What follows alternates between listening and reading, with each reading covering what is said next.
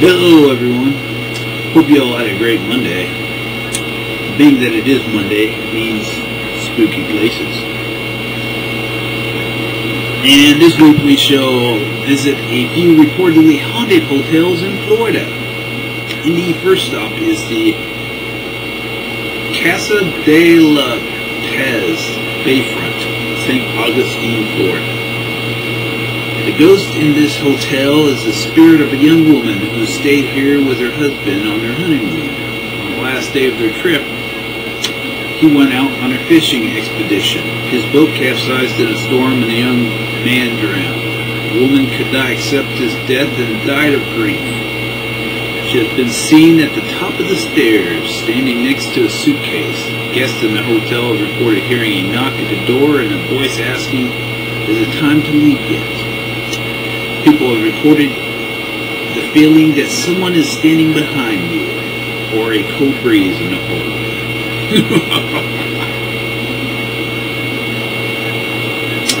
and the next stop for today is the Don CeSar Beach Resort and Spa in St. Petersburg, Florida.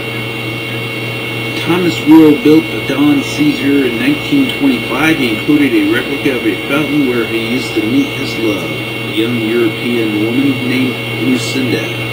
He met her while a student in Europe, but her parents forbade the relationship.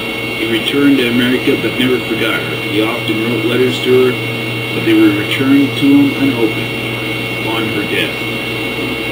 He received a letter from her indicating that she had never forgotten him either. The fountain was taken down in a renovation, but guests still report seeing the young couple walking hand in hand on the same spot. Some also see Rowe on the fifth floor where he used to live. And the last stop for this week, my friends, the Biltmore Hotel in Coral Gables, Florida. In January 1926, the Biltmore opened its doors. Unexplained noises and lights are seen here. There. Here is a history on the Bil- Biltmore. It served as a hotel in the early 20s and then used as a hospital during World War II. Many people died in the place. There's a tale of a woman dressed in a white who jumped out of the tower window to save her child. She did not survive the fall, but ne- nevertheless, the Biltmore front desk receives calls from the hotel guest about a woman in white who was in the room. The Biltmore is one of the few hotels in the county country to label a 13th floor and this only has one elevator that goes up to that floor. That is when Ghost wanted to. That is it for this week, my friends. I hope you enjoyed these spooky places. Wishing you all a good night.